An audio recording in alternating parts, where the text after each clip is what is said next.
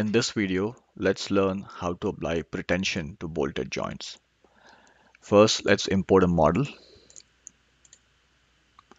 As soon as the model is imported, SimSolid would prompt to create automatic connections. We will use the default gap and penetration tolerances to create automatic connections. Before setting the model up for analysis, let's review the model.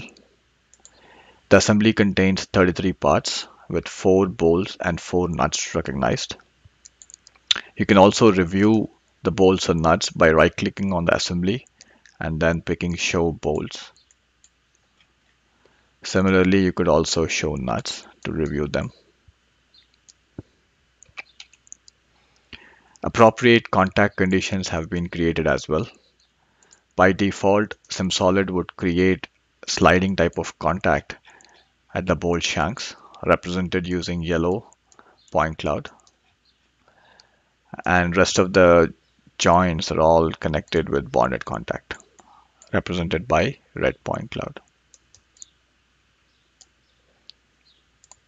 Since we have connections created, let's go ahead and run some analysis. Create a structural linear analysis apply a constraint and a movable support on the two back faces. Then apply pretension to the nuts in the model.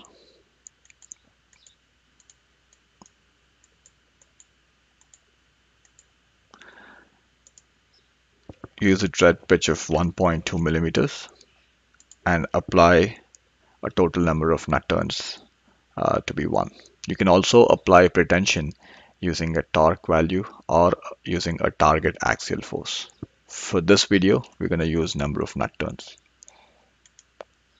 and run analysis. Get a warning that the materials have not been assigned. I'm going to assign steel material to all the parts in the assembly. SimSolid quickly ran the analysis. You can look at the displacements animated to see the effect of bolt pretension in the model.